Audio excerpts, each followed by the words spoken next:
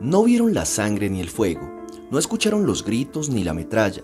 no huyeron por las veredas ni dejaron atrás lo que habían construido con sus propias manos convirtiéndose en cenizas. Pero todo lo que la barbarie del ejército salvadoreño destruyó en el Mozote y sitios aledaños en diciembre de 1981 también fue una parte de ellos,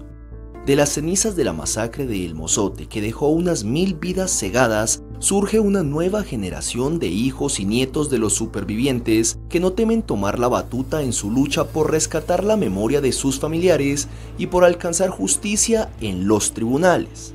Olga Sánchez Vigil, Walter Gutiérrez y Nancy Guevara Márquez son parte de un grupo de miembros de la Asociación Promotora de Derechos Humanos de El Mozote con edades entre los 20 y 30 años de edad, cuyos padres pudieron salir de la zona poco tiempo antes de que se cometiera la masacre.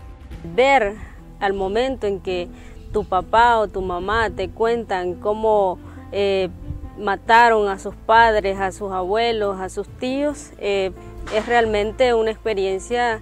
que te ayuda a entender muchas cosas. Entre el 10 y el 13 de diciembre de 1981, unidades de élite del ejército ejecutaron al menos a 988 personas, la mayoría niños, en una operación militar de tierra arrasada, crimen por el que son procesados más de una docena de mandos castrenses retirados. Un registro estatal señala que de las casi mil personas ejecutadas en el Mozote, al menos 552 fueron niños, incluidos 12 en estado de gestación. Lo que más me conmueve más que todo a mí es que aquí no se perdonó niños,